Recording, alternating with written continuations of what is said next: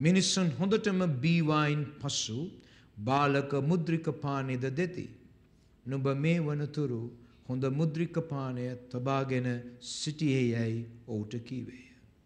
යේසුස් වහන්සේ ගලිලේ කානාහිදී තමන් ලකුණුවලින් මේ පළවෙනි එක කර සෝකිය මහිමය ප්‍රකාශ කළසේක. උන්වහන්සේගේ ගෝලයෝද උන්වහන්සේ කෙරෙහි අදහා ගත්තෝය. අපි යාඥා කරමු. ප්‍රේමණීය ස්වාමිනී අද දවසේදී අපි කියවන ලද සුද්ද ලියවිලි කොටස අපි ඔබ වහන්සේට බාර කරමු. ස්වාමිනී අද රාත්‍රියේ මේ පණිවිඩය එම දේවස්ථානයේ සිට අසන්නා වූ සහ මෙය විවිධ විද්‍යුත් මාධ්‍යයන් වලින් ලොව පුරා නරඹන්නා වූ හැම කෙනෙකුටම ඔබ වහන්සේ විසින් නිදහස් කරනු ලබන්නා වූ පියාණනී ආශිර්වාදයේ වචනයක් වන පිණිස මම යාඥා කරනවා.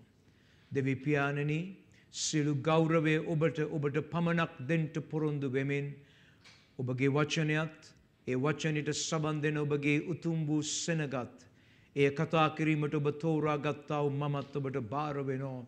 යේසුස් ක්‍රිස්තුස් වහන්සේගේ නාමයෙන්. ආමෙන්. කරුණාකර වාඩිවන්ට. අද සමස මා ඔබට කතා කරන්නට යන දේශනයේ තේමාව වන්ට යන්නේ ප්‍රථම ලකුණ. ප්‍රථම ලකුණ. දැන් මම දන්නෝ ඔබ හැම කෙනෙක්ම වාගේ මේ සුද්ද වූ ලියවිලි කොටස ගැන දන්නා බව. ඔබ ඒක කියවා තිබෙනෝ. ඔබ ඒක අස්සා තිබෙනෝ. ඒක මීට පෙර ඔබ විවිධ දේශන ඉගැන්වීම් වලට සවන්දී තිබෙනවා. නමුත් මම අද දවස්සේදී ඔබට සහතික කරන්නට යනෝ ඔබ අසන්ට යන දේ බෝ වෙලාවට මීට පෙර ඔබ අසා නොතිබුණු කාරණා.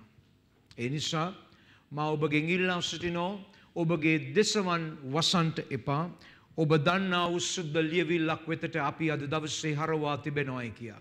ඔබ දන්න ඔද බෝ වෙලාවට අපි හිතනවා අපි යම් බයිබල් කොටසක් කියවා තිබෙන නිසා අධ්‍යයනය කර තිබෙන නිසා ඒකෙන් දේශනාවක් හෝ ඉගැන්වීමක් අසා තිබෙන නිසා අපි ඒ සුද්ද ලියවිල්ල ගැන සෑම දෙයක් දන්නවය කියලා.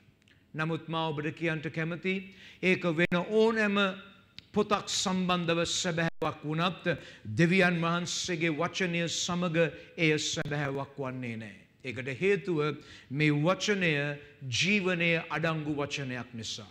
හලලුයා. ඒ නිසා ඔබ කොයි මොහොතේ ඔබ දන්නා උසුද්ද වූ ලියවිලිලි කොටසකට කියව්වත්.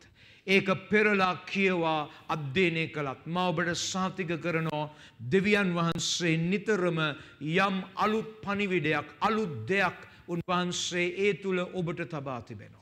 ය දවස්සේදී මා විශ්වාස කරනෝ දෙවියන් වහන්සේ ඔබට අලුත් පනිවිඩයක් අලුත් පනිවිඩයක් මේ සුද්ද ලියවිලි කොටස තුළ උන්වහන්සේ තබා තිබෙනවා. හලෙලුයා මේ සුද්ද ලියවිලි කොටස කියවද්දී ඔබ දන්නවද මට ප්‍රශ්න කීපයක් පැන නැගුණා. දැන් අවුරුදු තිස්ස එකක් තිස්සේ මම මේ වචනය දේශනා කරනවා. නමුත් නැවත නැවත මේ ප්‍රශ්නය මේ සුද්ද විල්ල වෙතටම ආපු අවස්ථාවේදී ප්‍රශ්න කීපයක් මට පැමිණිය. ඒ ප්‍රශ්න කීපයක් මං ඔබ ඉදිරියේ තබන්ට කැමති. එනම් පළමුව යේසුස් වහන්සේ කළ පළමු හාස්කමේ ඇත්තා වූ වැදගත්කම කුමක්ද. අපි දන්නෝ අපි ඕනම දෙයක් මුලින්ම කරනකොට පළවෙනි දේ ඉතා වැදගත්. එතකොට මෙය යේසුස් වහන්සේ කළ පළමුුවනි හාස්කම නම් එහි තිබෙන්නා වූ වැදගත්කම කුමක්ද කියන එක මට දැනගන්ට ඕමනා වුණා. දෙවනි ප්‍රශ්නය තමයි එම හාස්කම තුළින් යේසුස් වහන්සේ පිළිබඳව අපට එළිදරව් වන්නේ කුමක්ද. උන්වහන්සේ නිකම් හාස්කම් කරන්නෙක්ද. නෑ.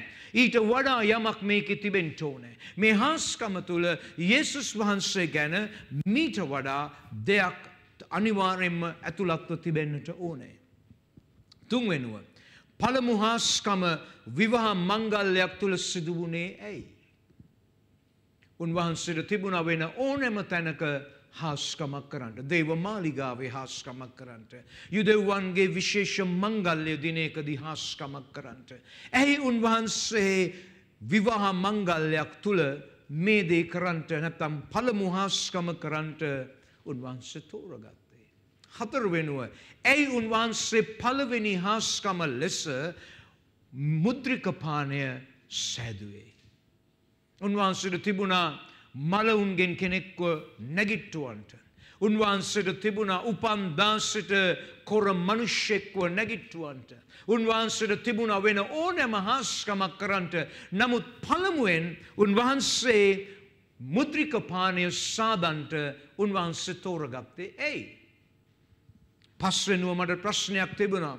ඒ හාස්කම සඳහා උන්වහන්සේ වතුර භාවිතා කළේ උන්වහන්සේට තිබුණා මුද්‍රික පානය ඇතිවේවා කියලා කියන්ට මුද්‍රික පානය ඇතිවෙන්ට ඇති. නමුත් ඇයි උන්වහන්සේ මෙහාස්කම උදෙස්සා අමුද්‍රව්‍යයක් හෝ මූලද්‍රව්‍යයක් හැටියට ජලය යොදාගත්තේ.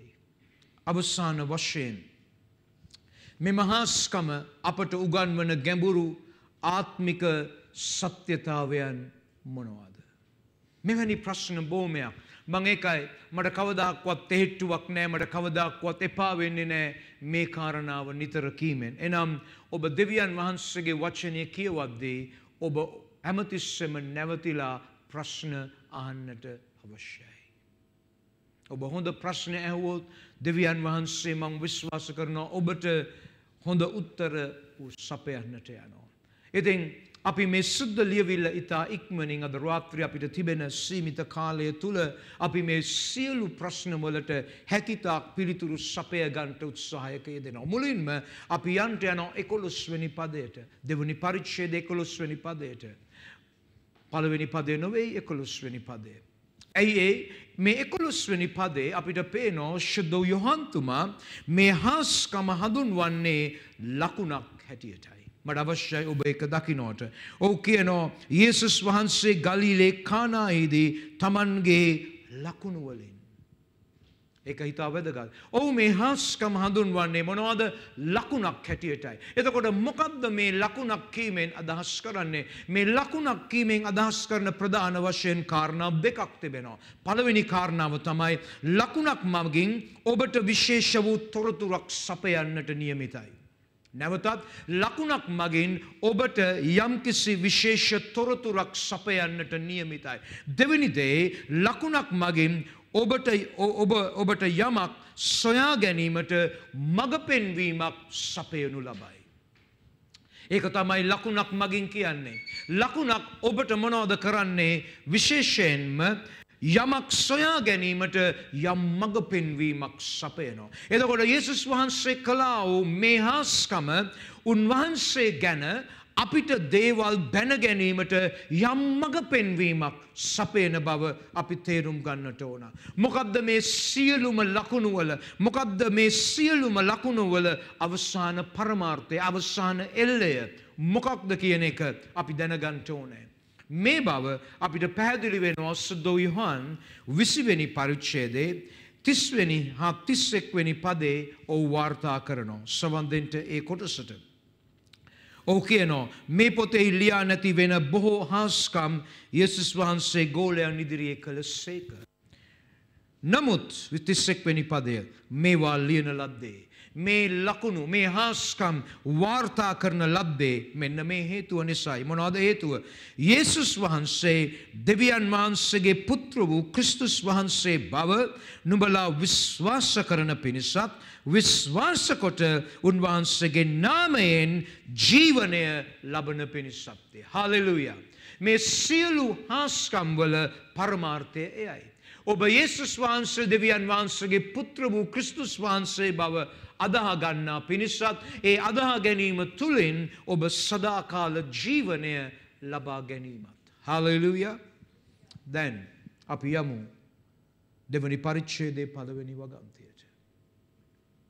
දෙවනි පරිච්චේදේ පලවෙනි වගම් තේස්ථාන ගෙන තුන්වෙනිදා ගලීලෙයි කානාහි සරණ මංගල්ලයක් විය. හලලුය.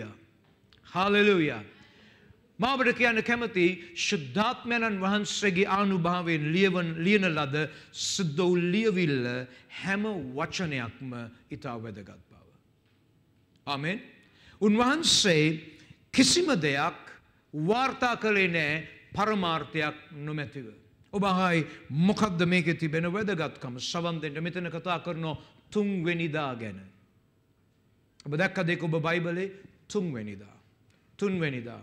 සරණ මංගල්ලයක් තිබුණයි කියලා කියනවා කානානුවර. ඔබ කියයි මොකක්ද ඒක තිබෙන විශේෂත්වය. ඒකේ හැම විශේෂත්වයක්ම තිබෙනවා.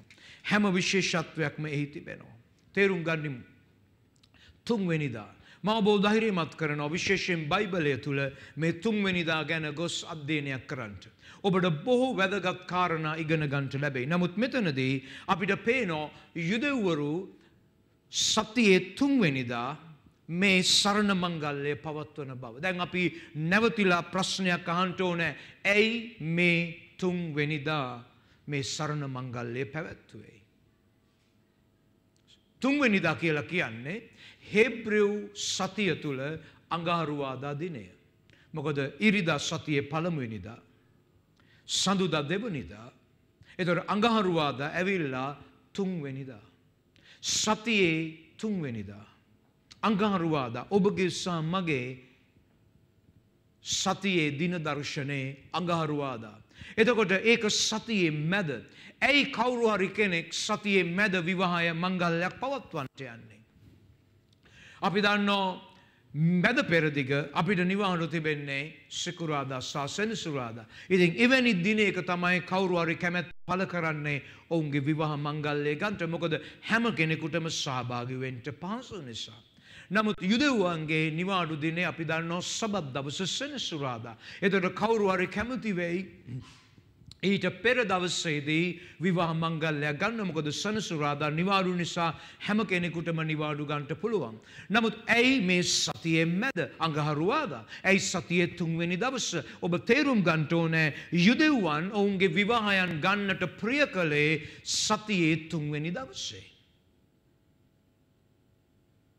ඔබ රැහුණද මම කියපුදේ සතියේ තුන්වෙනි දවස්සේ. දැන් ඇයි සතියේ තුන්වෙනි දවස්සේ ඔවුන් එතරම් කැමැත්තක් දැක්කුවේ විවාහ මංගල්ලයක් ගන්න එකට හේතුවක් තිබුණ. ඒකට විශේෂ හේතුවක් තිබුණ. විශේෂ හේතුව තමයි යුදෙව්වා නතරේ දැඩි විශ්වාසයක් තිබුණා මේ තුන්වෙනි දවස සතියේ තුන්වෙනි දවස දෙවියන් වහන්සේ විසින් ආශිර්වාදයේ දෙගුණය නිදහස් කරපු දවස හැටියට. ඔබ ඩැවුණ හරි මම කියපු දෙයි. මම කීවේ දෙවියන් වහන්සේ තුන්වෙනි දවස්සේ ආශිර්වාදයේ දෙගුණය නිදහස් කරපු දවස හැටියට යුදෙව්වන් තුළ විශ්වාසයක් තිබුණා.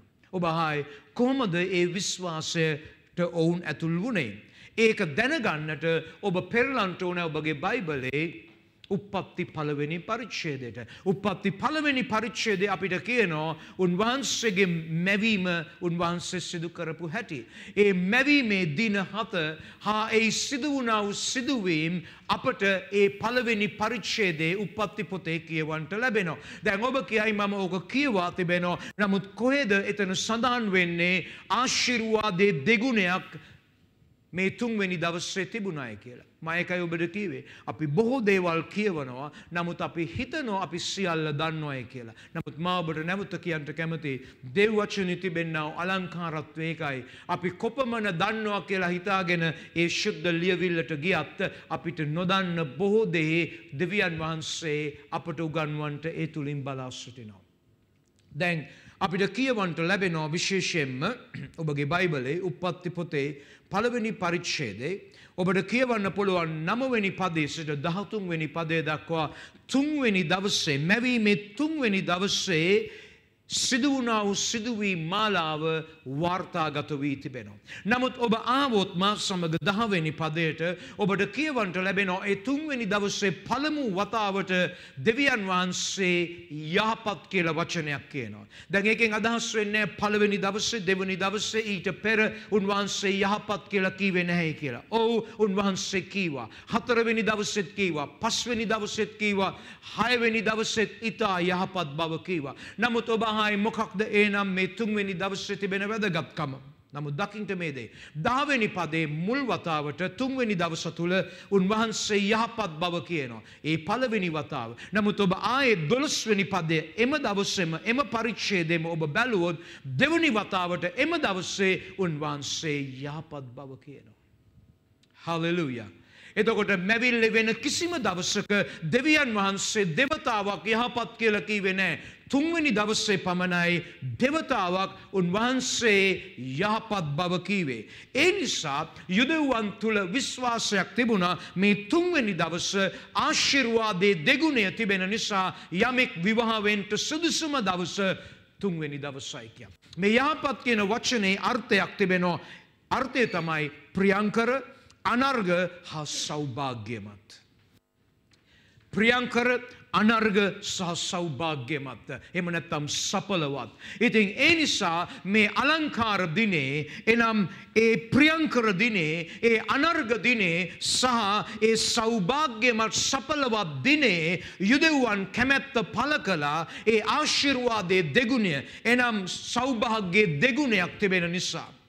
සපලත්වේ දෙගුණයක් දෙවියන් වහන්සේ ප්‍රකාශ කරපු නිසා ඒ දවස යුදෙව්වන් තෝරගත්තා මොනව කරන්නටද ඔවුන්ගේ විවාහයන් පවත්වන්ට. දැන් ඔබට පැදිලි වෙනවා ඇති මොකක්ද මේ තුන්වෙනි දවස්සේ තිබෙන වැදගත්කම. එතුර තුන්වෙනි දවස්සේ ගලිලේ කානානුවර සරණ මංගල්ලයක් තිබුණාය කියා තිබෙනවා. දැන් දකිින්ට මේ දේ මේ කානා නුවර සරණ මංගල්ලයට යේසුස් වහන්සේගේ පවුල ඉතා සමීපව සම්බන්ධ වී සිටිය. මේ ගලිලේ කානානුවර සිදු වුණා වූ සරණ මංගල්ලයට යේසුස් වහන්සේ සහ උන්වහන්සේගේ පවුලේ අය අතරේ ළඟ සම්බන්ධයක් තිබෙනවා. ඔබ ආයි කොහමද ඔබ ඒ නිගමනයට ආවේ පළවෙනි දේ. පළවෙනි පදේ අපිට කියවන්න ලැබෙනවා උන්වහන්සේගේ මෑණියෝ ඒ සරණ මංගල්ලේ සිටියා. දෙවනි වගන්තේ අපිට පේනෝ යේසුස් වහන්සේව ඒ සරණ මංගල්ලයට ආරාධනා කරනු ලැබවා. එම පරිච්චේදේම දොළොස්වනි වගන්තයේ යේසුස් වහන්සේගේ සහෝදරයෝ ඒ සරණ මංගල්ලයට පැමිණ තිබුණන්. ඉති අපිට පේනෝ යේසුස් වහන්සේගේ මුළු පවුලමවාගේ. මුළු පවුලමවාගේ මේ කානානුවර සරණ මංගල්ලයට සම්බන්ධ වී සිටිය. නමුත් තුන්වෙනි පදයට ආවම. අපිට කියවන්නට ලැබෙනෝ යම් දෙයක් සිද්ධ වෙනවා. ඔවුන්ට මුද්‍රිකපානය නැතැයි යෙසුස් වහන්සේගේ මෑණියන් උන්වහන්සට කියනවා. මුද්‍රිකපානය ඉවරගුණු බව අපිට කියවන්ට ලැබෙනවා. දැන් මේ තත්වේදී නැත්තම් මේ මුද්‍රික පාන ඉවරුණාම මුලින්ම ඒ ගැන සලිකලිමත් වුණේ කවුද? ඒ ගැන සලිකලිමත් වුණේ කවුද? යේසුස් වහන්සේගේ මෑණියෝ. දැන් සවන් දෙන්න. මේකෙන් අපිට යම් ඉඟියක් තිබෙනවා. මොකද්ද අපිට තිබෙන ඉඟිය? යේසුස් වහන්සේගේ මෑණියන් ඊටාම සමීප සම්බන්ධයක් තිබුණාය කියලා මේ සරණ මංගල්ලේ මනාලයාගේ පාර්ශවයට මනාලයාගේ පාර්ශවයට මනාලියගේ පාර්ශවයට නොවෙයි නමුත් මනමාලිය මනමාලියගේ නොවෙයි මනාලයාගේ පාර්ශවයට සම්බන්ධයක් තිබුණු බව. ඔබ හයි කෝමද ඔබ එක දන්න ඔබ තේරුම් ගන්ටෝනෑ යෙසුස් වහන්සේගේ කාලේ සරණ මංගල්ලයක් සිද්ධ වුණාම ඒ සරණ මංගල්ලට සම්බන්ධ ආහාර පාන සහ නවාතැන් සැපෙව්වේ මනමාලයාගේ පාර්ශවයෙන්. පැදිලි මනමාලයාගේ පාර්ශවයෙන්. එතකොට ඒ කාලේ සරණ මංගල්ලයක් අද වගේ පැයකීපයකට නොවෙයි සීම වුණේ දින හතක්. දින හතක් පැමිණෙන සියලුම අයට ආහාර පාන සහ නවාතෑන් දෙන්නට අවශ්‍යයි. පැදිලි. එතුර අපිට පේනෝ මේ මුද්‍රික පානය ඉවර වුණාම ඒ ගැන මුලින්ම සලකිරිමත් වනේ උන්වහන්සේගේ මෑණියන් ඇයි ඇය සම්බන්ධ වී සිටියේ මනමාලියගේ පාර්ශවයට නොවෙයි මනමාලයාගේ පාර්ශවයටයි. ඔබ නොපන්න පුළුවන් මොකක්ද මේ මුද්‍රික පානය නොමැතිවීමේ තිබේ ශදේ සමන්ධට ඉතා වැදගත් දෙයක් මෙතන තිබෙනවා. අද වගේ නොවෙයි. ඔවුන්ට ගිහිල්ල එකවර අවශ්‍ය ප්‍රමාණයේ මුද්‍රික පානය කොහෙවත් සුරාසලකින් ගන්නට බෑ. අද නම් ඕන තරම් මෙවැනි ස්ථාන තිබෙනවා. යම් කෙනෙකුට අඩුවුණොත් ගිහිල්ල මොනවාද ගේන්න පුළුවන් ඇනවුම් කරන්න පුළුවන්. නමුත් ඒ ඒ සමාජය තුළ එවැනි දෙයක් තිබුණේ නෑ. ඉතින් ඒ නිසා මුද්‍රික පානය නොමැතිවීම ආකාර තුනකින් ආකාර තුනකින් අවම වශයෙන් මේ මනමාලයටත් මේ මනමාලයාගේ පාර්ශවයටත් බලපෑවා. කොහොමද ඒක බලපෑවේ? පළවෙනි දේ එවැනි මංගල්‍යයක් තුළ එවැනි සරණ මංගල්‍යයක් තුළ මුද්‍රික පානය ඉවර වුණා නම් පළවෙනි දේ මනමාලය හා ඔහුගේ පවුලට විශාල අගෞරවයක් හා නින්දාවක් එන්නට යනවා. විශාල අගෞරවයක් සහ නින්දාවක්. එක තමයි සිදුවෙන්ට යන පළවෙනි දේ. දෙවනි දේ තමයි මනමාලයාට ඔහුගේ හොඳ නමට ඔහුගේ කීර්තිමත් නාමයට සැමදාම සදාකාලිකව පවතින අගෞරවයක් හා කෙලසීමක් සිද්ධවෙන්ට යන. ඔහුගේ දිවි ඇතිතුරා ඔහුගේ නාමය කැලැල්වෙන්ට යනවා මේ සිදුවීම නිසා. තුන්වෙනි දේ බරපතලම දේ තමයි මනමාලියගේ පාර්ශවයෙන් සබන් දෙන්නි තවමනාවෙන්. මනමාලියගේ පාර්ශවයෙන් ඔවුන්ට මේ සරණ මංගල්ලයේදී අගෞරවයක් අවනම්බුවක් සිදු වුණාය කියලා මේ මනමාලයා සහුගේ පාර්ශවයට එරෙහිව නඩු පැවරීමක් පවා කරන්නට පුළුවන් ඒ සමාජය තුළ. ඔබ තේරුම් ගන්ටන මේක බරපතලයි. මේක බරපතල තත්ත්වයක්. එනිසා මේක මනමාලයටත් ඔහුගේ පවුලයටත් විශාල වශයෙන් බලපෑමක් ඇති කරන ප්‍රශ්නයක්. මං අද දන්නේ නෑ ඔබ මට සවන් දෙන විට ඔබ කොයි තරම් සැලසුම් කළක්ද ඔබගේ ජීවිතය හා කාරණාවන් ගැන ඔබ මෙවැනි තත්ත්වයකට පත්වෙලා සිටි නොද කියන්ට. අපි දන්නවා කිසිවෙක් විවාහයක් ගන්නේ නෑ සැලස්මක් නැතුව. විශේෂෙන් ඔවුන් ගණනය කිරීමක් කරනවා මේ දින හතේම කොපමන ප්‍රමාණයක් ආහාර සහ අවශ්‍ය කරන බීම ඕන වෙයිද කියන එක. නමුත් ඔවුන් කොයිතරම් සැලසුම් කළත් අපිට පේනවා ඔවුන්ගේ මුළු පවුලටම බලපාන නින්දාවක් අවමානයක් අගෞරවයක් ඔවුන්ට දැන් සිදුවෙනවා. මදන්නේ නෑ ඔබ කොපමන සැලසුම් කළත් ඔබේ ජීවිතයට දැන් තර්ජනයක් තිබෙනෝද කියන්ට. ජීවිතයට අවශ්‍යතාවයක් තිබෙනෝද කියන්ට. නමුත් එක දෙයක් ඔබට උගන්වන්ට කැමති. අපිට පේනෝ මෙවැනි නින්දාවට පත්වෙන මොහොතක මෙවැනි අගෞරවයට පැමිණෙන මොහොතක මෙවැනි ඉතා දුෂ්කර බරපතල අවස්ථාවක දෙවුණත් මරියතුමිය යේසුස් වහන්සගේ මෑනියෝ අපිට හොඳ ආදර්ශයක් දෙනවා එනම් මොකක්ද යේසුස් වහන්සේ වෙතට හැරෙන්න. ආමෙන්. යේසුස් වහන්සේ වෙතට හැරෙන්න. ඔබේ ජීවිතේ මොන නින්දාව පැමිණියත්. ඔබේ ජීවිතේ මොන දුෂ්කරතාවය පැමිණියත්. ඔබේ ජීවිතයට මොන අපහස්සේ පැමිණියත්. ඔබේ ජීවිතයට මොන හිඟකම පැමිණියත්. ඔබට තවම පුළුවන් යේසුස් වහන්සේ වෙතට හැරෙන්න්නට. ඇය උන්වහන්සට කියනෝ මොනවද කීවේ තුන්වෙනි පදේ ඔවුන්ට මුද්‍රික පානය නැතැයි යේසුස් වහන්සේට උන්වහන්සේගේ මෑනියෝ කිවාය. හලලූයා. අද රාන්ත්‍රයේ ඔබට පුළුවන්ද යේසුස් වහන්සේ වෙතට ඇවිල්ලා කියන්න ස්වාමිනේ මම මේ වගේ තත්ත්වයක් තුළ සිටිනවා. මම මේ වගේ තත්ත්වයකට පත් වෙලා සිටිනවා. ඔබ දන්න අපි මේ කතාව කියව්වා උන්වහන්සේ ඔවුන්ට උපකාර කළා. නමුත් හතරවෙනි පදයට යමු. මෙතනදී කාරණා තුනක් මට ඔබට පෙන්වන්නට අවශ්‍යයි. කාරණා තුනක් ඉතා ඉක්මනින් කාලය නිසා. කාරණා තුනක් පළවෙනි දේ මේ හතරවෙනි පදය කියනවා යේසුස් වහන්සේ ස්ත්‍රිය නොබෙන් මට කම මොකද? මාගේ වේලාව තවම පැමුණුනේ නැතයි. ඇයට කිස්ස එක. මේ එක වගන්තයේ කාරණා තුනක් තිබෙනවා. මොකද්ද මේ කාරණා තුන? පළවෙනි දේ මට අවශ්‍යයි ඔබ යේසුස් වහන්සේ උන්වහන්සේගේ මෑණියන්ව ආමන්ත්‍රණය කරපු ආකාරය දකින්නට මොනවාද ස්ථානයේ කියන්නේ? උන්වහන්සේ ස්ත්‍රිය. ස්ත්‍රිය. දැන් මේක ඔබටත් මටත් සමහර විට හිතෙන්න පුළුවන් මේක එතරම් ගෞරවනීය ආකාරයට ආමන්ත්‍රණයක් නොවේ කියලා. ස්ත්‍රිය. ස්ත්‍රිය. හෝ ගැහැනිය. නමුත් ඔබ තේරුම් ගන්ට ඕනේ. ඔබගේ සංස්කෘතියෙන් හා මගේ සංස්කෘතියෙන් නෙවෙයි. එදා යේසුස් වහන්සේ හිටපු කාලෙ තිබිච්ච සංස්කෘතියෙන් අපි මේ වචනය තේරුම් ගන්නට ඕනා. යේසුස් වහන්සේ උන්වහන්සේගේ මෑණියන්ව ආමන්ත්‍රණය කළේ ස්ත්‍රිය. ඔබ දන්නවද යම් දෙයක්? එකල සමාජය තුළ කාන්තාවකට ගැහැනියකට දෙන්න පුළුවන් උපරිම ගෞරවය මේ වචනයයි ස්ත්‍රිය. හලලුය ඉතා වැදගත්. මොනාදේ උන්වහන්සේ කාන්තාවට දිය යුතු ඉහළම ගෞරවය උන්වහන්සේ දුන්නා. ඔබ එක තේරුම් ගන්ට ඕන. අද අපි අපේ අපේ වැනි සභාවල් වල ලොකු ප්‍රශ්නයක් තිබෙනවා. ඒ තමයි අපි හිතනෝ අපි දන්නෝ වැඩි කියලා. අපි හිතනෝ අපි අන්නයට වඩා බයිබලය දන්නෝය කියලා. අපි හිතනෝ අපි තරම් සුද්ධවන්තයෝ නැහැයි කියලා. අපි හිතනෝ අනිත් ඔක්කොමල්ලා අපිට වඩා පහලයි කියලා.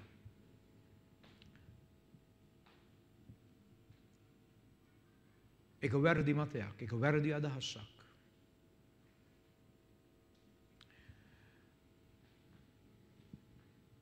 ගිය මාස්සේ කෙනෙක් මා වෙතට ආව මම ඔව නම් කරන්නට කැමති නෑ. ඔ ශ්‍රී ලංකිකෙක් නොවේ නමුත් වෙනත් ජාතිකයෙක් මේ සමාජයේ ඉහළ වගකීම් තනතුරු දරන්නෙක් ඔවු මට කිව්වා පාස්ට මම අහවල් දේවස්ථානයට අයිති කෙනෙක් මම තාමත් අයිති. නමුත් මෑතකාලීනව මම ඔබගේ වගේ සභාවකට ඔගොල්ලන්ගේ වගේ සභාවකට දැම් සතිකීපයක් සහභාගි වෙනවා නමුත් මට ප්‍රශ්න ගොඩක් තිබෙනවා මං කොබෝම හොඳයි මම හරි ආසයි ප්‍රශ්න තියෙන අයට. විශේෂෙන් බයිබලය ගැන ප්‍රශ්න තියෙන නම් මං ගොඩක් ආසයි. ඕකවා මට සමාවෙන්න මං ඔබගේ කාලය ගන්ට කැමති නෑ මංකෝ කමක් නෑ ඔබගේ ප්‍රශ්නය මට ඉදිරිපත් කරන ඕක මට තිබෙන ලොකුම ප්‍රශ්නය ලොකුම ප්‍රශ්නය මරියතුමිය ගැනයි. මං කොහොඳ ප්‍රශ්නය මං කොමොකක්ද ඔබට තිබෙන ප්‍රශ්නය. ඔගොල්ල වගේ අයගේ සභාවල් වර මරියතුමේට ඔබ දෙන්න වූ තැන මොකද මංක හොඳ ප්‍රශ්නයක් ගොඩක් ස්තුති ඒක යොමු කලාට මට මං කොම් සබන්දෙන්ට. මංකුව මේක මගේ කාර්යාලය මේ කාර්යාලයට මරියතුමි දැන් ආවොත් මංකුව ඔබට වඩා ඉස්සරින්ම නැගිටලා මගේ ආසනය මම ඇයට පිළිගන්වන්ට යනවා හේතුව. හේතුව හේතුව පළමුුව දෙවියන් වහන්සේ ඇයට ගෞරව කලා දෙවනුව යෙසුස් වහන්සේ ඇයට ඉහළම ගෞරවය දුන්න. ඔවුගේ ඇස් පීරිසි දෙකක් වුණා. මඟව ඇයි ඔක නැමං බලාපොරොත්තු නෑ ඔබගෙන්ගේ වැනි උත්තරයක් මංකෝ ඇත්ත ඒකයි. ඇත්ත ඒකයි.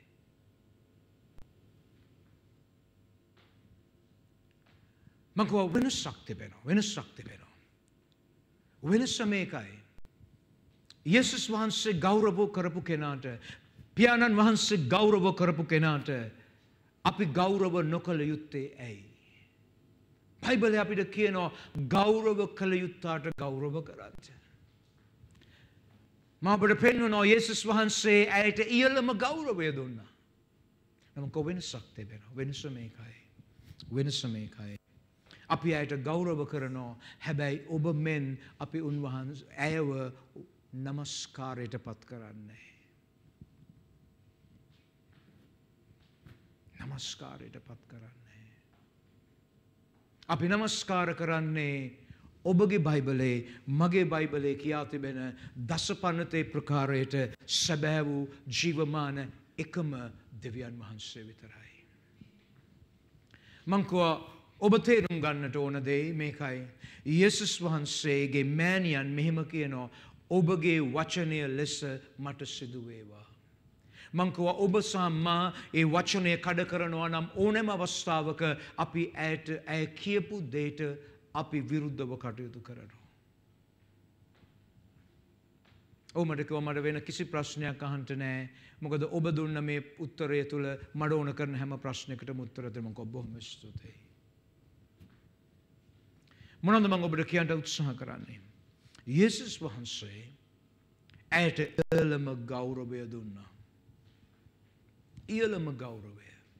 ඔබ ආවොත් යොහන් නමවෙන් දහනමවෙනි පරිච්චේද විසිහයවැනි පදයට යේසුස් වහන්සේ කෘසිය මත වේදනාවිද නින්දා ලබමින් සිටි අවස්ථාවේදී පවා උන්වහන්සේ ඒ සියලු නින්දාවන් තුළ සියලු වේදනාවන් තුළ උන්වහන්සේගේ මෑණියන්ට නැවතත් ඉහළම ගෞරවය දෙනවා. ඔබට ගොස්කේවන්ට පුළුවන් සුද්දෝ යොහන් දානමේ විසිහය.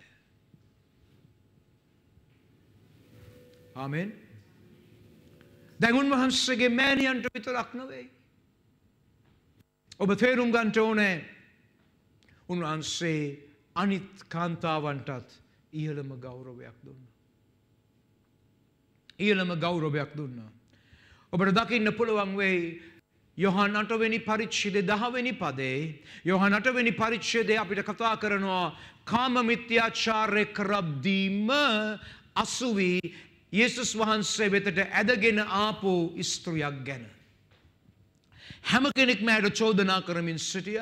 නමුත් ඒසුස් වහන්සේ ඒ චෝදනා කරපු අයට කියපු දේ ඔබ දන්නෝ නමුත් කතාවේ කෙලවරදී උන්වහන්සේ හැරිලා ඇයට කියනෝ ස්ත්‍රිය. මමත් නුබට වරද නොතබමි. මේක යේසුස් වහන්සේගේ තිබෙන උතුම් ගතිගුණය. එනම් උන්වහන්සේගේ මෑණියන්ට පමණක් නොවෙහිස්සනේවන්තය වෛශ්‍යාකමේ යෙදෙද්දී හසුවුණා වූ කෙනෙකුට පවා ඉහළම ගෞරවය උන්වහන්සේ දුන්නා. හලෙලුය ඔබ යමක් ඉගෙන ගන්නවයි කියලා මං හිතනවා. ඉහළම ගෞරවේ එවිතරක් නොවෙයි. ලුක් දහතුන් වැනි පරිච්චේද දොළොස්වනි පද ඔබ බැලුවොත් අපිට කියවන්නට ලැබෙනවා. අවුරුදු දංගටක් තිස්සේ රෝගීව සාතන් විසින් රෝගීව තිබුණු ස්ත්‍රියක් උන්වහන්සේ සෙනගෝගයේදී ඒ තත්ත්වෙන් මුදාහැරියට පස්සේ උන්වහන්සේ ඒ කාන්තාවටත් කිව්වා ස්ත්‍රිය නොබ දැන් නිදහස්සය. රෝගියෙක් වේවා වෛශ්‍යාවියෙක් වේවා තමන්ගේ මෑණියන් වේවා සෑම කෙනෙකුටම උන්වහන්සේ ඉහළ ගෞරවයක් දැක්වා. අමෙන්. ඉතින් අපි කියනෝ නම් අපි ක්‍රිස්තුස් වහන්සේගේ අනුගාමිකයන් අපි ඉහළ ගෞරවයක් අන්නයට ලබා දෙන්න ඉගෙන ගන්නට ඕන. දෙවනි දේ උන්වහන්සේ ඉහළ ගෞරවයක් දුන්නා විතරක් නොවෙයි නමුත් දෙවනි දේ උන්වහන්සේ ඇයට තරවටුවක් ගෙනවා.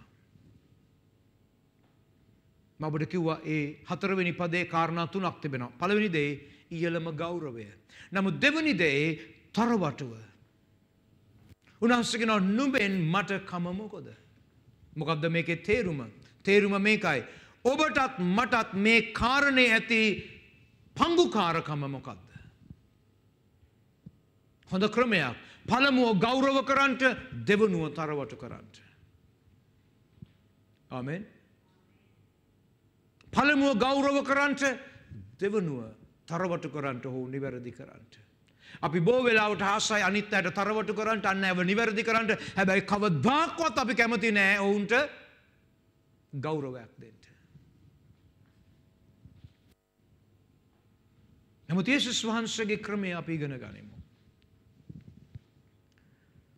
උන්වහන්සේ පළමුුව ඉහළම ගෞරවය දීලා තෙවනුව නිවැරදි කිරීමක් තරවටු කිරීමක් කරන උන්වහන්සේ කියනවා ඔබටත් මටත් මේ කාරණේ ඇති පංගුකාරකම මොකද්ද? තුන්වෙනි දේ උන්වහන්සේ කියනෝ මාගේ වේලාව තවම පැමිණේ නැත. උන්වහන්සේ ඇයට තේරුම් කරන්න උත්සාහ කරන්නේ මොනවද මම ක්‍රියා කරන්නේ මනුෂ්‍යයාගේ කාල සටහන අනුව නොවෙයි. දේශනාකාරය තුන්වැනි පරිච්චේදය පළවෙනි පද සහ එම පරිච්චේ දෙකොළොස්වනි පද අපිට කියනවා දෙවියන් වහන්සේ සෑමදේටම වෙලාවක් නියම කර තිබෙනවා. ඔබ තේරුම් ගන්ට ඕන දේ මම තේරුම් ගන්ට ඕන දේ මේ කතාව තුළ. උන්වහන්සේ හැම දෙයක්ම කරන්නේ ඔබේ සහ මගේ කාලසටහන අනුව නොවෙයි උන්වහන්සේගේ කාලසටහන අනුවයි. සමාරුට අපි හිතනෝ වෙන්න පුළුවන් අපේ කාලසටහන අනුව දේවල් ප්‍රමාදයි. නැහැ උන්වහන්සේ කවදාක්වත් ප්‍රමාද වෙන්නේ උන්වහන්සේ කලින් එන්නෙත් නෑ ප්‍රමාද වී පැමිණෙන්නෙත් නෑ නිසි වෙලාවට උන්වහන්සේ අපිට ඕන කරන සියල්ල උන්වහන්සේ සලස්වනවා. හලලූය. සමාරෝ බදහිර වෙලා ඇති කෝ දෙවියන් වහන්සේ ඇයි දෙවියන් වහන්සේ ඇයි මට උත්තරයක් නැත්තේ ඇයි මට මේ ප්‍රමාදය සිදුවෙන්නේ සවන්දෙන්ට උන්වහන්සබට කියනවා පුතා දුව මගේ වෙලාව තවම ආවෙනෑ. ඒක ඔබට සහ මට තේරෙනවා ඇති ප්‍රමාදයක් හැටියට නමුත් දෙවියන් වහන්සේගේ කාලසටහන තුළ උන්වහන්සේ ප්‍රමාද වී නෑ. පස්වැනි පදේ ඉතා ඉක්මනින්. මොනවද අපිට කියවන්ට ලැබෙන්නේ. උන්වහන්සේ දැන් මේ කතාව ඇයට කීවට පස්සේ ඇය උන්වහන්සේගේ මෑණියන් අපිට පේනවා එතන හිටපු සේවකයන්ට යම් උපදේශයක් දුන්න. මොකක්ද ඒ උපදේශය පස්වැනි පදේ. උන්වහන්සේ නුබලාට කියන කොයිම දෙයක් නමුත් කරපල්ලා. මං හිතනෝ මේක මම හිතන දේ ඔබ ඔබට එහෙම හිතෙන්ට අවශ්‍ය වෙන්නේ නෑ. මම හිතනෝ මම හිතනෝ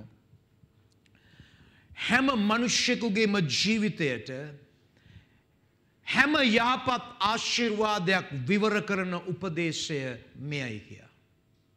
එක ඔබ එම හිතන්ට ඕනෙ නෑ මේ මම හිතන විදිය. මම විශ්වාස කරනවා හැම මනුෂ්‍යකුටම ආශිර්වාදයන් විවර කරන යතුර මේ උපදේශයයි කියලා.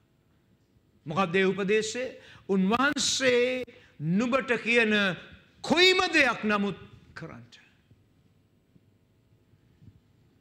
හලලුය. උන්වහන්සේ ඔබට කියන කොයිම දෙයක් නමුත් කරන්නට.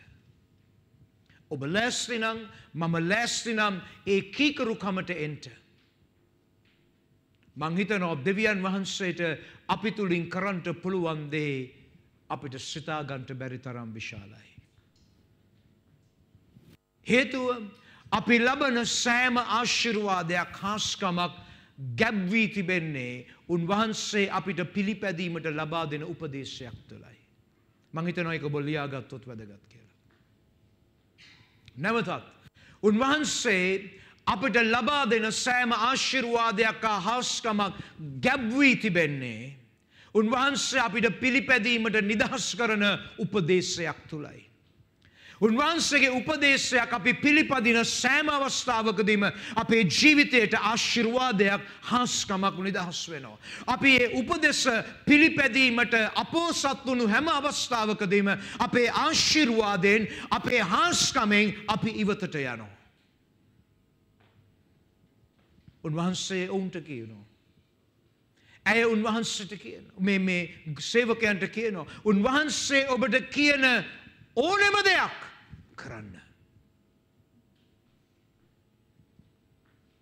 ඕනෙම දෙයක් කරන්න. ඇයි අපි දන්නෝ අපේ දෙවියන් වහන්සේ කවදක්වත් අයහපත් දෙයක් අපිට කරන්ට කියන්නේ නෑ. අකට යුත්තක් උන්වහන්සේ කරන්ට කියන්නේ නෑ.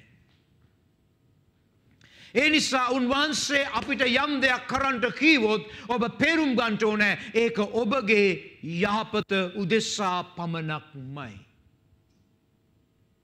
හලිලුය දැන් අපි කියනවා වෙන්න පුළුවන් මම ලෑස්තේ උන්වහන්සේ කියන දේ කරන්ට නමුත් සබන්දෙන ලූක් හයවෙනි පරිච්චේදේ.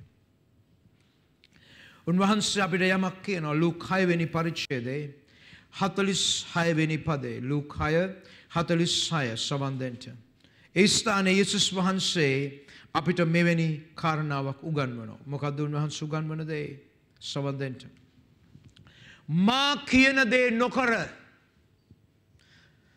ස්වාමිනී ස්වාමිනී මට කියන්නේ මක් නිසාද? මොනවද උන්වහන්සේ කිව්වේ? මා කියන දේ නොකර ඔබ මට ස්වාමිනී ස්වාමිනී කියන්නේ ඇයි? අපිට නිවැරදි වචන කියන්ට පුළුවන් නමුත් උන්වහන්සේ කියන දේ පිළිපදින්නේ නැතුව. එනිසා උන්වහන්සේ අපිට මතක් කරනවා. මොනවද? ඔබ මට ස්වාමිනී ස්වාමිනි කිව්වට වැඩක් නැහැ. මම කියන දේ ඔබ පිළිපදින්නේ නැතිනම්. උන්වහන්සේ නුඹලාට කියන කොයිම දෙයක් නමුත් කරපල්ලා. ඒක තමයි උපදේශය. අදවසේ ඔබ සීලු දේ අමතක කෙරුවත් ඒ ටික මතක තියාගත්තොත් ඔබගේ ජීවිතයේ ඔබට කවදාක්වත් අසාර්ථක වෙන්නට බෑ මේ එක උපදේශය ඔබ පිළිපැද්දොත්. උන්වහන්සේ මට කියන ඕනම දෙයක් මම කරන්නට යනවා. ඔබට කවදාක්වත් වරදින්ට බෑ අසාර්ථක වෙන්ට බෑ පරදින්නට බැහැ ලැජ්ජාවට පත්වෙන්ට බෑ. හාලලුය මේ එක උපදෙස ඔබ පිළිපැද්දොත්. මේ එක උපදෙස ඔබ පිළිපැද්දොත්. උන්වහන්සේ මට කියන ඕනෙම දෙයක් මම කරන්ට යනවා. හයවැනි පදයට යමු. අපිට කියවන්ට ලැබෙනවා ඒ ස්ථානයේ ගල්භාජන හයක් තිබුණාය කිය. ගල්භාජන හයක් තිබුණා. ප්‍රශ්නයක් තිබෙනවා. මුද්‍රික පානය ඉවර වුණහි කියලා කියන්නේ මුද්‍රික පානය ගෙනාපු භාජන හිස්ව තිබෙනවා. නමුත් මගේ ප්‍රශ්නය වුණේ මේකයි යේසුස් වහන්සේ හිස් වූ මුද්‍රික පානය තිබුණු භාජන පාවිච්චි නොකර ගල් භාජන පාවිච්චි කළේ ඇයි. මෙව මට ප්‍රශ්න මඳන්න ඔබ ගැන.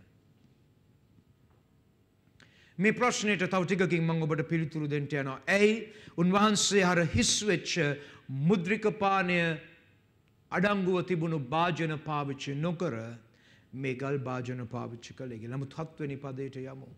ඒ ස්ථානය කියනෝ උන්වහන්සේ උපදෙසක් ඔවුන්ට දුන්න උපදෙස මොනාද ගල් භාජන වතුරවලින් පුරුවන්ට. දැන් මේ වෙනකොට මේ වෙනකොට ඒ ගල් භාජන හය හිස්ව තිබෙනවා. ඇයි ඒක පාවිච්චි කළේ පවිත්‍රවීම උදෙසා. එදර ගල් භාජන හයක් තිබුණයි කියලා කියන්නේ මේ විවාහ මංගල්ලේ සෑහෙන්න සැලකයුතු පිරිසක් ඇවිත් තිබෙනෝ කියන එකයි. උනස්සගෙනෝ ඒ භාජන පුරවන්ට. දැන් මේ සේවකයන්ට කියන්ට තිබුණා මෙතන පවිත්‍රවීමට අවශ්‍ය කරන වතුරවල හිඟයක් නොවේ තියෙන්නේ මොනවාද? මුද්‍රික පානේ. නමුත් ඔවුන්ට උපදෙසක් තිබුණා. පිළිපදිට මොනවාද? උන්වහන්සේ කියන කොයිම දෙයක් නමුත් කරන්න. කොයිම දෙයක් නමුත් කරන්න. බයිබලේ කියනවා ඔවුන් කට දක්වා එය පිරෙවේ. ඔවුන් කට දක්වා එය පිරෙවේ සවන් දෙන්න අංක 6 බයිබලේ කතා කරන්නේ මිනිස්යාගේ ලකුණ හැටියටයි. ආමෙන්. මෙතන කට දක්වා පිරෙව්වා කියලා අදහස් කරන්නේ ඉන් අර්ථවත් වෙන්නේ තවත් එකතු කරන්න කොහෙත්ම ඉඩක් නැහැ. කට මට්ටමටම පිරෙව්වයි කියන්නේ තව එකතු කරන්න මොනම විදියකින්වත් බෑ. සම්පූර්ණයි. දැන්. මෙතනදී අපිට පේනවා මේ ගල් භාජන පාවිච්චි කළේ මොනාටද පවිත්‍රවීමට. යුදෙව් ආගමේ හැටියට ඔවුන්ට තිබුණ ආහාර ගන්නට පෙර ඔවුන්ගේ අත්සා පාද සෝදන්ට ඔුන්ගේ විශේෂෙන් ඔුන්ගේ අත්සේදීමක් තිබුණ. හරි ඔවුන්ට පවිත්‍රවෙන්ට තිබුණා. එතකොට මෙගල් භාජන පවිත්‍රවීම උදෙස්සා වතුර රැස්කිරීමට පාවිච්චි කරපු භාජන නමුත් සවන්දෙන්ට. අංකහය මං ඔබට කිව්වා මනුෂ්‍යයාගේ ලකුණ. එතර මනුෂ්‍යාව පවිත්‍ර කරන පිණිස දෙවියන් වහන්සේ යේසුස් වහන්සේ කරනකොටගෙන අපිට සම්පූර්ණ කරන්ට බැරවගයාව උන්වහන්සේගේ ව්‍යවස්ථාව සම්පූර්ණ කෙරෙව්වා. හාලලුය මට වෙලා නෑ අද රාත්‍රියබට මේක විස්තර කරන්න නමුත් ඔබට සටහන් ගන්න පුළුවන් මතයු තුන්වැනි පරිච්ඡේදේ පාලොස්වනි පදය සහ පස්වනි පරිච්ඡේදේ දාහත්වනි පදය අපිට පේනවා යේසුස් වහන්සේ කියනවා මම ආවේ මම ආවේ ව්‍යවස්ථාව කඩ කරන්ට නොවෙයි එය සම්පූර්ණ කරන්ට. ඒසස් වහන්සේ යොහන් බෞතිස්තට කීවා සියලු ධර්මිෂ්ඨකම් සම්පූර්ණ කිරීම අප විසින් කළ යුතුව තිබෙනවා. උන්වහන්සේ සියලුම දේ සම්පූර්ණ කළා. දැන් සවන් දෙනිත අවමනාවෙන්. යේසුස් වහන්සේ මෙම හාස්කම සිදු කිරීමට මූලිකව කාරණා දෙකක් පාවිච්චි කරන පළමුුව ගල්භාජන හිස් වූ ගල්භාජන දෙවනි දේ ජලය ඇයිඒ. දැන් මා නැවත ඔබ අරයන්න යනෝ මැවිල්ලේ තුන්වෙනි දවසට. ඉතා වැදගත් මක්නිසාද මං ඔබට කීවා තුන්වෙනි දවස ආශිර්වාදය දෙගුණේ ඇතිවිච්ච දවස. ඒ නිසයි විවාහ මංගල්‍යයන් සිද්ධ වුණේ. දැන් ඒ තුන්වෙනි දවස දෙස මදක් බලන්ට.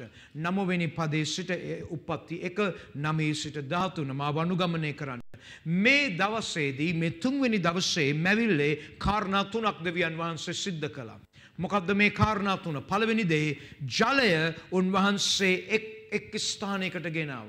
ජලය උන්වහන්සේ එක ස්ථානයකට ගෙනල්ල කිව්වා ඒකට මූදයිකයා. දෙවරිදේ උන්වහන්සේ වියලි බිම ඇතිවෙන්ට සැලස්වා. වියලි බිම එතන තිබුණා. තුන්වැනිදේ ඔබට කියවන්ට ලැබෙනවා ශාක උන්වහන්සේ පැලහැටිසාම් ශාක ඒ දවස්සේ මවනු ලැබවා. කරණතුනයි. ජලය වියලිබිම ශාක. මහිත නොබේක දැක්කයි කෙලොබගේ බයිබලේ. පැදිලි එතකොට ජලය යෙසුස් වහන්සේ මේ හාස්කමට පාවිච්චි කරනවා. තුන්වැනි දේ වියලිබීම තුළ තමයි ගල් තිබුණේ. ආමෙන්. උන්වහන්සේ ගල් භාජන පාවිච්චි කරා. තුන්වෙනි දේ මැවීමේ තුන්වෙනි දවසේ මොනවද තිබුණේ? ශාක උන්වහන්සේ මුද්‍රික ඵල තෝරගත්තා. හලෙලුයා. තුන්වෙනි දවසට සම්බන්ධ සිදුවීමක් තිබෙනවා. ඇදිලි? එතකොට දෙවියන් වහන්සේ තමන්ගේ බලය සහ ආධිපත්‍යයෙන් තමයි ඒ සියල්ල කළේ. යේසුස් වහන්සේත් මේ හාස්කම කළේ වචනය කතා කිරීමෙන්. හලලුයා. දැන් උපත්ති හත්වනි පරිච්ඡදයට ආවොත් ඔබට පේනෝ ඔබට පේනෝ දෙවියන් වහන්සේ යළිත් වරක් ජලය භාවිතා කරා එදා ලෝකයේ තුල තිබුණු සෑම පාපයකින් පොළොව පවිත්‍ර කරන්නට. Right මට වෙලා නැහැ ඔබ ගොස් කියවන්ට මේ හත්වෙනි පරිච්ඡේදය. නමුත් ජලය බැසගියාට පසු අපි දන්නවා ජල ගැල්ම පැමිණිය හත අට නම පරිච්ඡේද ඔබ ගොස් කියවන්න උපත්ති පොතේ ඔබට මේක කියවන්න ලැබෙයි. නමුත් ජලය බැසගියාට පසුව සවන් දෙන්න. ජලය බැසගියාට පසුව පාපයෙන් ලෝකය පවිත්‍ර වුණාට පසුව ජලය බැසගියාට පසුව උපත්ති නමවැනි පරිච්ඡේදේ එකොළොස්වැනි පදය. ඔබට කියවන්ට ලැබෙනෝ දෙවියන් වහන්සේ සවන් දෙන්න මුල් වතාවට ජලය බැසගයාට පසුව මුල් වතාවට මනුෂ්‍යයා සමග ගිවිස්සුම් සම්බන්ධතාවයකට ඇතුල් වුණ. ඔබට ඇවුන හරි මම කියපු දේ. මුල් වතාවට දෙවියන් වහන්සේ මනුෂ්‍යයා සමග ගිවිසුම් සම්බන්ධතාවකට ඇතුල් වෙලා උන්වහන්සේ පොරුන්දුවක් දුන්නා නැවත කිසි දවසක මම මුළු පොළොව ජලගැල්මෙන් විනාශ නොකරමි. ඒ පිණිස ලකුණක් හැටියට සලකුණක් හැටියට මේ පොරොන්දුවේ ගිවිස්සුමේ සලකුණක් හැටියට උන්වහන්සේ බයිබලය කියනවා ආකාශයේ මොනාද දෙදුන්නක් තැබුවායි. දැන් සවන්දෙන්ට. විවාහයක් තුළ තමයි මොනාද ගිවිස්සුම් සම්බන්ධයක් නිර්මාණය වෙන්නේ. දැන් ඔබට තේරෙනවා ඇති ඇයි උන්වහන්සේ මෙහාස්කම කරන්නේ විවාහ මංගල්‍යයක් තුළ. විවාහයක් තුළ මොනවද වෙන්නේ ගිවිස්සුම් සම්බන්ධයක් සිද්ධ වෙනවා. ඒ ගිවිස්සුම් සම්බන්ධය සලකුණක් හැටියට මොනවද දෙන්නේ මනමාලයාසා මනමාලිය මාරු කරගන්නවා ඔවුන් කරන්න ඔවු ගිවිස්සුමේ පොරොන්දුව හැටියට අද දක්වා අපි දන්නවා මොනද කරන්නේ මුදුවක් මාරු කර ගැනීමක්. එදා දෙවියන් වහන්සේ මනුෂ්‍යයා සමග කරපු පළවෙනි ගිවිසුමේදී උන්වහන්සේ අහසේ ඒ ගිවිස්සුමේ සලකුණ තැබ්බා. අපි විවාහයේදී මොනාද කරන්නේ ගිවිස්සුමේ සම්බන්ධතාවේ සලකුණ හැටියට මොනාද කරන්නේ මුදුවක් එකිනෙකාට පළඳෝනු ලබනෝ. තර දෙවියන් වහන්සේ එදා මුල් ගිවිස්සුම එලෙස තබනකොට යේසුස් වහන්සේ මොනවද කරන්නේ? මේ ගිවිස්සුම් සම්බන්ධය සිද්ධ වෙන විවාහය තුළ මොනවද කරන්නේ? උන්වහන්සේ අලුත් ගිවිස්සුමේ සලකුණ තබනෝ එනම් උන්වහන්සේ ජලය හරවනවා මොනවද? මිදි යුෂ වලට. අපි දන්නෝ මිදි යුෂ සමානයි යේසුස් වහන්සේගේ රුධිරයට. උන්වහන්සේ පාස්කු දිනේදී ඒ අවසාන පාස්කුවේදී උන්වහන්සේ තම ගෝලයන්ට ඒ කුසලානේ අරගෙන කියනවා මෙය නුඹලා උදෙසා වගුරුණු ලබන අලුත් ගිවිසුමේ මාගේ ලේය. අපි දන්නවා වතුරෙන් මොකක්ද සිදුවන්නේ ශරීරයේ පවිත්‍ර කිරීම හා පෝෂණය කිරීම සිද්ධ වෙනවා. යේසුස් වහන්සේගේ රුධීරය අපගේ ආත්මය හා ප්‍රාණය පවිත්‍ර කොට අපේ ආත්මය හා ප්‍රාණය පෝෂණය කරනු ලබනවා. වතුර අපගේ බාහිර ශරීරය පිරිසිදු කරන නමුත් යේසුස් වහන්සේගේ රුධිරය අපගේ ඇතුළාන්ත මනුෂ්‍යාව පිරිසිදු කරනු ලබනවා. හලලුයා. දැන් ප්‍රශ්නය. ඇයි උන්වහන්සේ මේ ගල් භාජන පාවිච්චි කළේ. ඒ ස්ථානය කියනවා ඒ ගල් භාජනවල අවම වශයෙන් ගැලුම් විස්සක්තියක් ප්‍රමාණයක් අතරේ එක ගල් භාජනයක් දැරුවාය කියලා.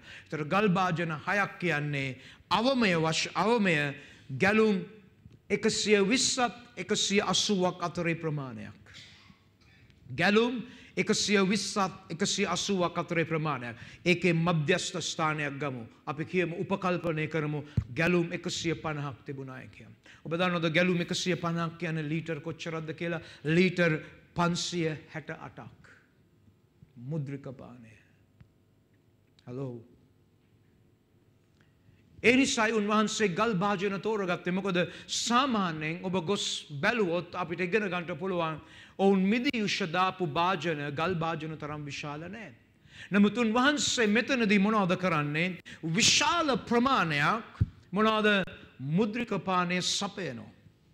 ලීටර් අඩුම වශයෙන් පන්සිය හැට අටක්.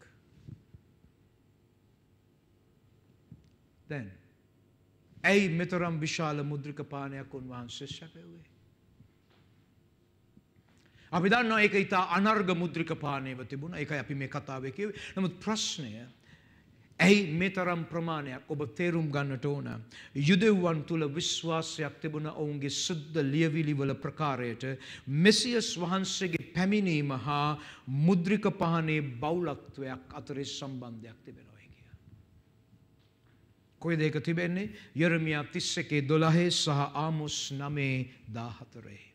යුදෙව්වන් ලියවිල්ල හැටියට දැනගෙන සිටියා මෙසියස් වහන්සේගේ පැමිණීම සමග තිබෙන එක සලකුණක් වන්නේ මුද්‍රිකපානේ බෞලත්වයක් ඔවුන්ට ලැබෙන්න්නට යනවා.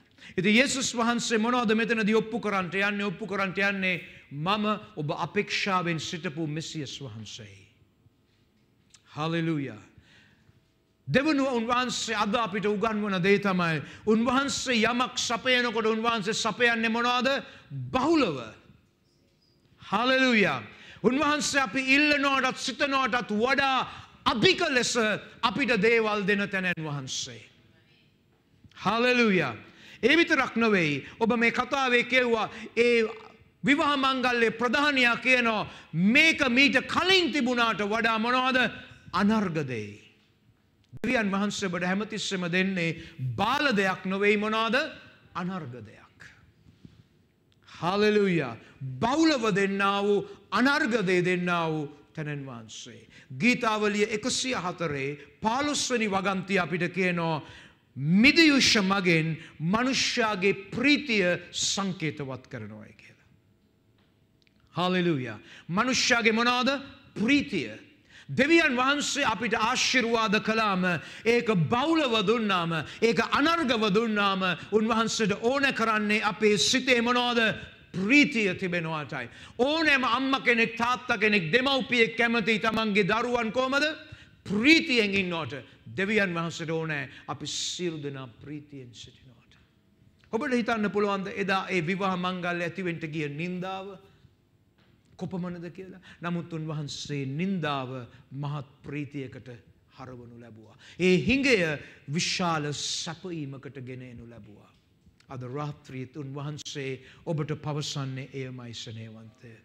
ඔබ මොන නින්දාවට පත්වෙලා සිටියත් ඔබ උන්වහන්සේතට හැරුණොත් උන්වහන්සගෙන ඔබට සිතාගන්ට බැරි ප්‍රීතියකින් මං ඔබට ආශිර්වාද කරනවා. ඔබ මොන හිඟකමකින් අද දවස්සේ සිටියත් උන්වහන්සේ ඔබට අද දවස්සේ සාතික කරනවා මොනවාද මම ඔබට බෞලව සපයන්නා වූ තැනැන් වහන්සේ.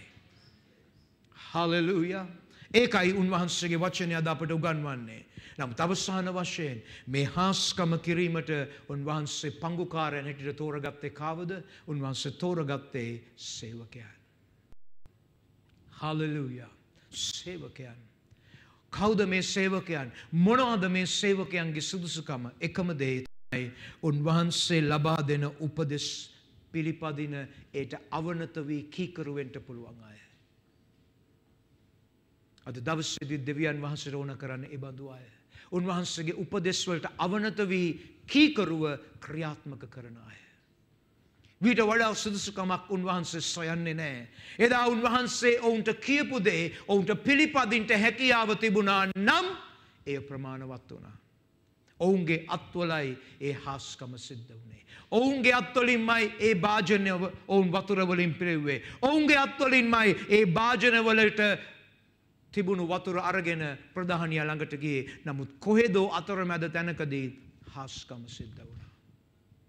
ඔවුනේ හාස්කම අද්දුටුවා වූ ඊට පංගුකාර වුණා වාසනාවන්ත සේවකයෝ සමූහයක් වුණා. ශනේවන්තේ අද දවස්සේදෙත් උන්වහන්සේ ඔබටයි මටයි කියන්නේ උත්සාහ ගන්ට එපා උන්වහන්සේ කරන දේ කෝමද කරන්න කියන එක තේරුම් ගන්න. එහෙනම් මේක හාස්කමක් වෙන්නේ නෑ. සබන්ධෙන්ට. අපට තිබෙන්නේ ස්වාමිනි ඔබ කියන දේ මම කරන්නම්. එපමනයි. ඔබ පුදුම දේවල් දකින්න පටන් ගනී. ඔබ ඒ සරල උපදෙස්ස පිළිපැද්දොත් ස්වාමිනි ඔබ කියන දේ මම කරන්නම් ඒ ප්‍රමාණවත්. අපි සෑම කෙනෙක් අද දවස්සේ නැගිට සිටිමුන් වහන්සේගේ අභිමුකේ මම විශ්වාස කරන ඔබ යම් දෙයක් අද දවස්සේ ලැබුවා. ඔබ යම් දෙයක් ගොඩනගා ගත්තා. ඔබට පුළුවන්කම තිබෙන උන්වහන්සේට හැරෙන්න මා දන්නේ ඔබ මොන වාතාවරණයක් තුල සිටිනවද කියන්ට. ඔබ යම් හිඟකමක් තුළ ඉන්නවා නම් ඔබ යම් අපහස්සු වාතාවරණයක් නින්දාවට ඔබ යොමු වෙන මොහොතක් නම් ඔබගේ හිඟය බරපතල නම් උන්වහන්ස වෙතට හැරෙන්ට උන්වහන්සේ ඔබ ඉල්ලනෝට වඩා සිතනෝට වඩා සපයන්ට සමර්ථයි. උන්වහන්සේ අනර්ගදේ ඔබට දෙන්ට ලැස්තේ.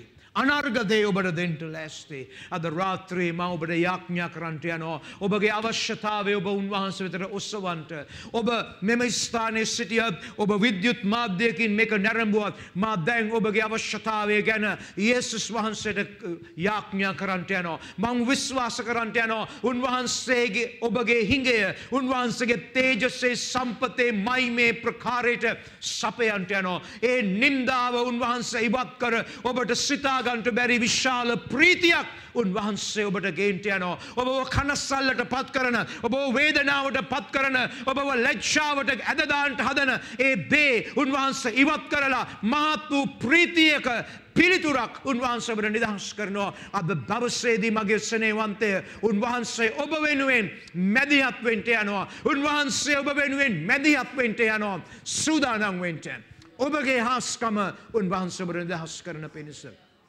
පියාණනි මම යාඥා කරනවා. අද දවසේ යම් අවශ්‍යතාවයන් වලින් පෙළෙන අය සිටිනවා. යම් රෝගවලින් පෙළෙන අය සිටිනවා.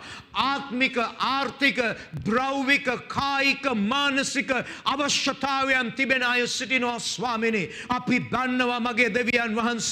අපි ඉල්ලනෝට වඩා අපි සිතනෝට වඩා දැන් ඔබ වහන්සට පුළුවන් ඔබගේ දරුවන්ගේ අවශ්‍යතාවයන් ඔබගේ පුත්‍රයාගේ තේජසේ සම්පතේ මයිමේ ප්‍රකාර ආකාරයට ස්වාමිනි නිදහස් කරන්නට පියාණනී ඔවුන්ගේ රෝග යේසුස් වහන්සගේ නාමින් දැන් දුරවේවා යහෝවා රාෆා ඔබ මැදිහත්තුව මැනව. ස්වාමිනී ඔවුන්ගේ හිඟකමට ඔබ මැදිහත් වී යහෝවා යයිරේ සැපීම ගෙන ආ මැනව. ස්වාමිනී ඔවුන්ගේ ජීවිතේ නින්දාවන් පාකරමින් පරාජයන් දුරුකරමින් යහෝවා නිස්සී යේසුස්ගේ නාමෙන් දැන් මැදිහත්තුව මැනව. පියාණනි මම යාඥා කරනවා. ඔවුන්ගේ සිත්වලට සමාධානය නිදහස් කරන්න. යවා ශලෝම් මැදිහත්තුව මැනව කියලා මම යාඥා කරනවා. ගිවිසුම් තබන්නා වූ දෙවියන් වහන්ස දැන් යේසුස් වහන්සේගේ නාමෙන් ඔවුන්ට ආශිර්වාද වේවා. ආශිර්වාද වේවා. ආශිර්වාද වේවා. පියාණනි යේසුස් වහන්සේ නිසා ආශිර්වාදයේ දෙගුණය ඔවුන්ට නිදහස් කළ මැනව. නිදහස් කළ මැනව. මෙකී දේ ඔබට ගෙන් ඉල්ලනවා. යේසුස් වහන්සේගේම උතුම් නාමයෙන්. ආමෙන්. ආමෙන්.